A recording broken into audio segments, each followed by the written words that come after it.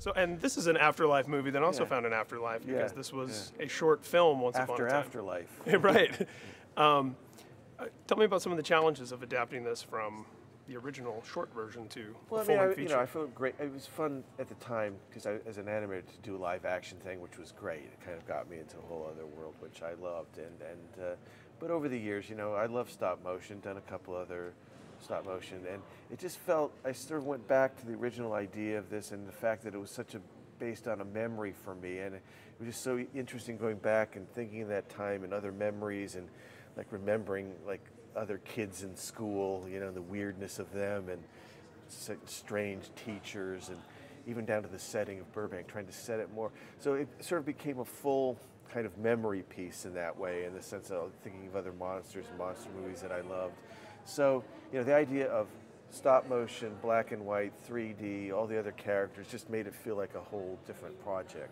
Yeah, and, I- and as someone who I, I'm a fan of yours, I'm a fan of Americana, mid-century uh, monster movies, stop motion. Yeah. Uh, one thing that I was struck by as I was watching this film is I started thinking about how, in recent years, even just the last five or ten years, a lot of the things that were subculture, that were underground for us, yeah, yeah. are mainstream now. Oh You yeah. know, well, I mean, that's the whole thing. It's like, and also with the references, I tried to be careful.